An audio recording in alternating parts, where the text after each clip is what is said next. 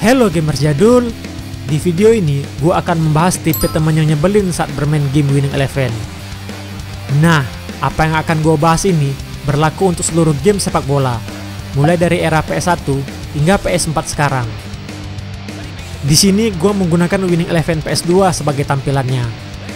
Oh iya, satu lagi. Karena topik pembahasannya teman yang nyebelin di mana mainnya dua player dan dua stick, dalam video ini ada beberapa scene di mana gue mainnya sendirian. Jadi, untuk kutu kupret nggak usah banyak cicong lagi ngomentarin hal-hal yang nggak penting. Katanya temennya nyebelin. Kok mainnya sendirian? Kok mainnya sama kebuter? Berisik! Yang penting narasi gue nyampe ke lu, jangan cerewet. Yuk, langsung aja. Ceki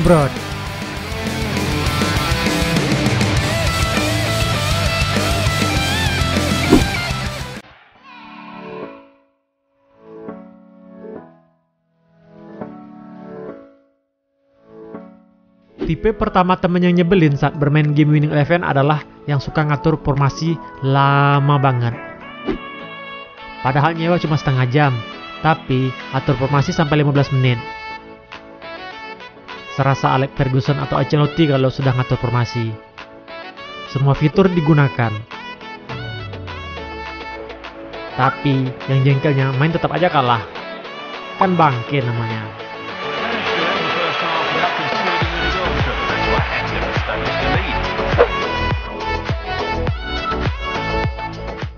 Nomor 2 ini kebalikan dari nomor 1, yaitu teman yang gak sabaran saat formasi. Biasalah, yang namanya formasi kan kita butuh waktu 1-3 menit.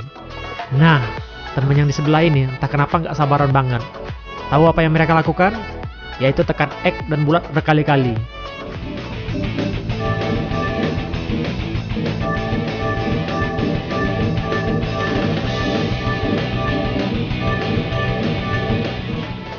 Bikin berisik.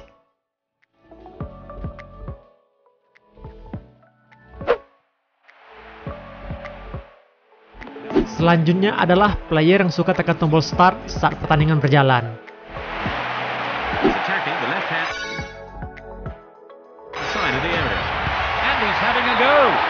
Tuh kan, gagal golnya.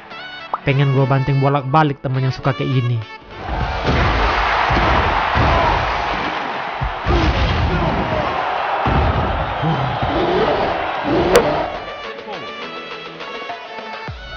Di nomor 4 ini adalah teman yang suka lihat replay saat gol. Still running. And he tries again. The keeper block. It's in. Goal!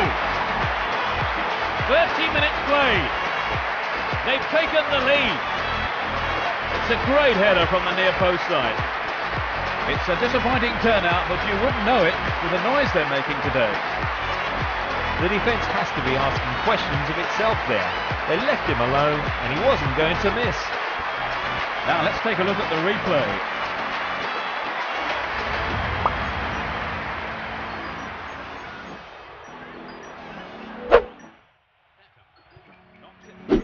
Berikut ini adalah teman yang suka sliding. Apalagi kalau hobinya sliding dari belakang. A searching ball to the right wing. Knocks it out to the right flank. Everyone just needs to Rasanya pengen gue sliding juga kepalanya.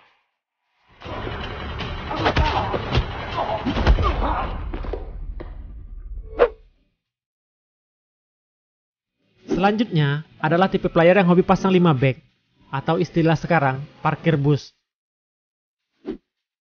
Jujur, gue adalah tipe pemain yang ini. Teman-teman gue suka sebel kalau berhadapan sama gue saat main cup. They need to convert from this corner. Fires one in. The keeper's there. Emang masalahnya apa sih kalau pasang 5 back? Kan nggak melanggar aturan FIFA. They're defending well. Very well indeed. Cleared away. Duff. Tidak hanya di pertandingan asli, pemain yang suka ngulur-ngulur waktu juga bikin ngeselin saat main game. Senderos. Passes the ball back. Torre.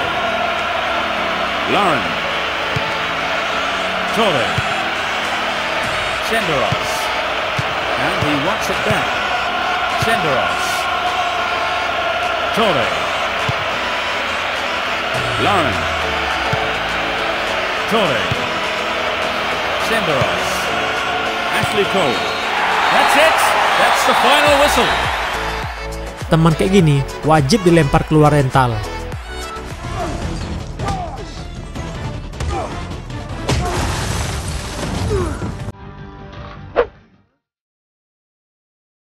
Tipe nomor 8 ini juga bikin naik darah, yaitu nggak mau ganti tim. Kalau di PS1 biasanya AC Milan, Real Madrid, atau Brazil. Nah, kalau untuk PS2 biasanya Inter Milan. Karena tim ini GG gila. Ada Adriano sama Ibra di depan. Passes the ball to the left. Yes, it's in, number two. There's another. Great goal from the forward. They're two up, and another goal would kill the game, surely. When they're in this kind of form, they really are irresistible.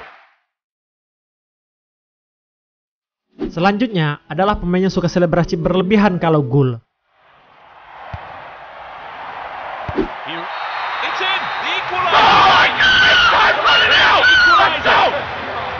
Teriak-teriak gak jelas. Sebenarnya sih nggak masalah kalau sekedar teriakan. Terkadang ada teriakannya sambil ngejek.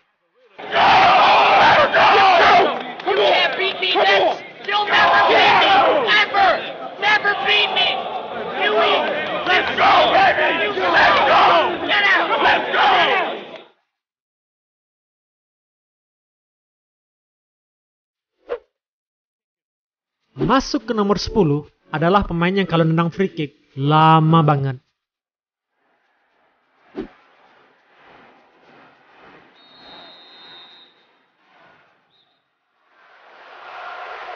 Two hours later.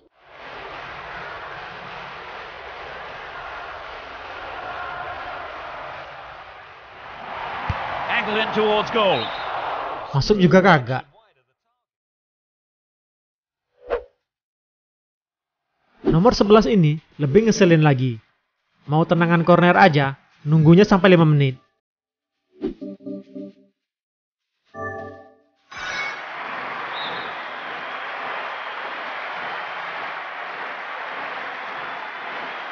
A few moments later.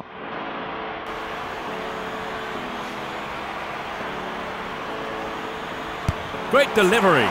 He rose above everyone else to get that. Just over the bar.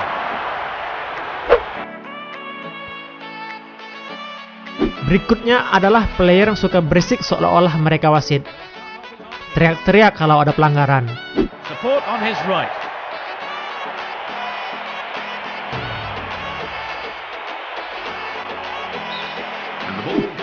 Yang ngeselin kalau ikut teriak offside. Offside, offside. Padahal enggak. Kadang hal ini merusak konsentrasi kita yang sudah di depan gawang. Rasanya pengen gua sobek-sobek mulutnya.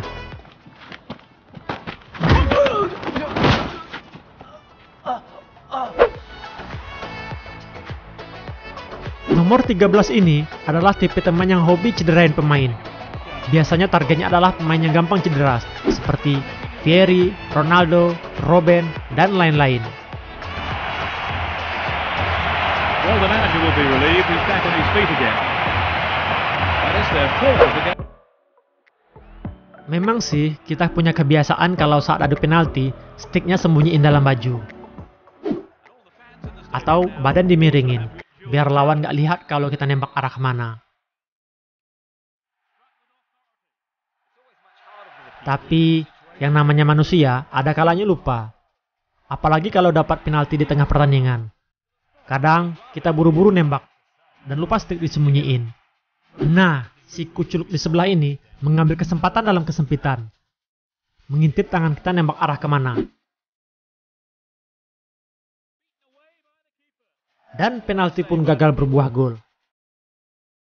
Pengen gua colok matanya.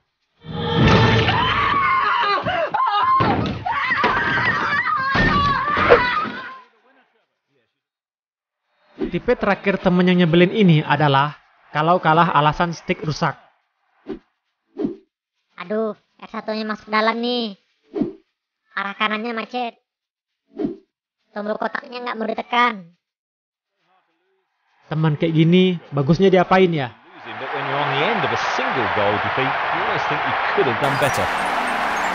I'm afraid we've run out of time. Trevor Brooking was alongside me giving his expert